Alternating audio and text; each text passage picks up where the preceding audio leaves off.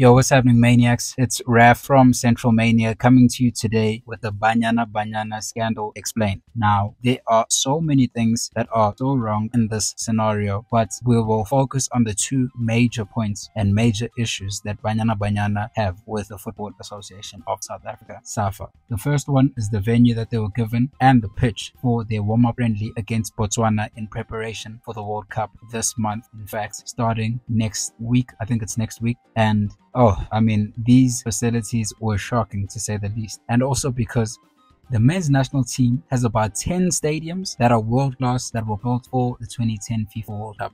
For Banyana Banyana to not be allowed to use even one of them is quite surprising and alarming to say the least, as these are the African champions of the continent, as they won the African Cup of Nations for women last year. Their male counterparts, Bafana Bafana, have last won a trophy 27 years ago in 1996.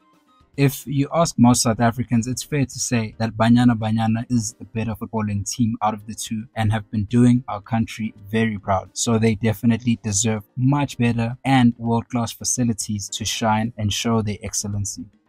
The second biggest issue that Banyana have is the contracts. FIFA has given each association that has qualified for the FIFA World Cup money for the players, and each player is deserving of 30,000 US dollars, which converts to around over 500,000 rand each for the Banyana Banyana players for qualifying for the FIFA World Cup and getting to the group stages. Banyana Banyana are alleging that that 500,000 rand is missing from their contract. This is one of the biggest scandals, I think, in South African football history. The ladies are off on their way to Australia and New Zealand as we speak to the FIFA World Cup, where they will start their first match against Sweden. Let me know what you guys think in the comments. Do you guys think that this was a distraction? Do you think they deserve to be underpaid? Do you think they should be equally paid like Bafana? Or do you think they should be paid more than Bafana as they have been giving us the best results out of the two teams? In fact, being champions and going above and beyond with their excellent performances over the recent years.